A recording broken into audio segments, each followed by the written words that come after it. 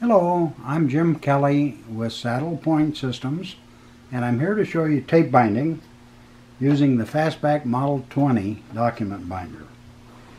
Tape binding is this kind of bind right here. It puts a tape on the spine and glues the pages together. You get a very nice looking document.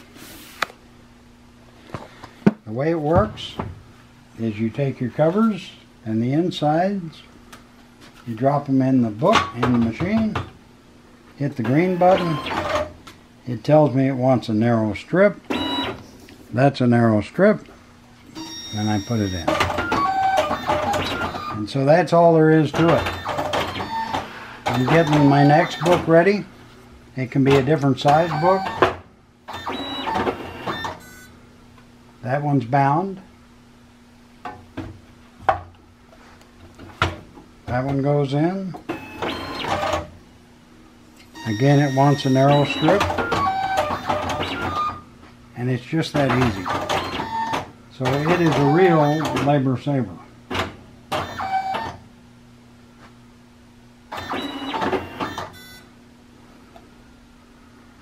Again, a perfect book.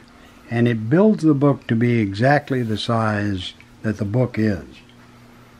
So if you're doing a bigger book, there's a button here that you push. It opens those drawers all the way up. And now it'll accept wide books. So here's a pretty wide book.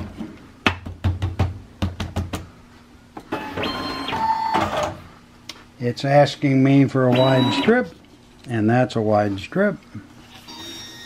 And it's going to bind that up. Now the nice thing about this is it's a one-step thing. If you were doing wire or coil or any of those punch methods, you'd be punching many times to do this size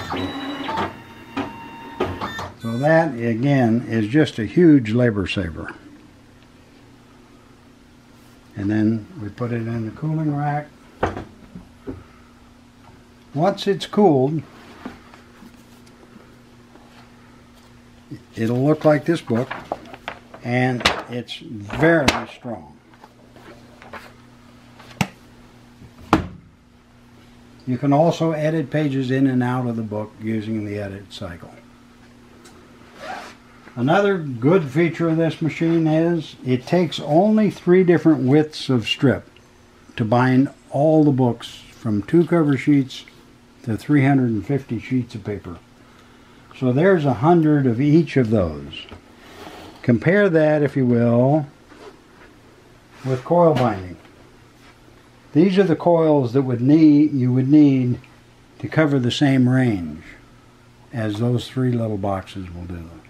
So it's a tremendous uh, space saver. The other nice thing about it is the strips come in a lot of colors. You can choose your color. Or the strips can also be printed.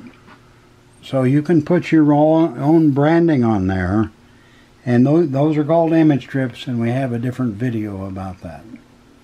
So that's tape binding using the Fastback Model 20. Thank you very much.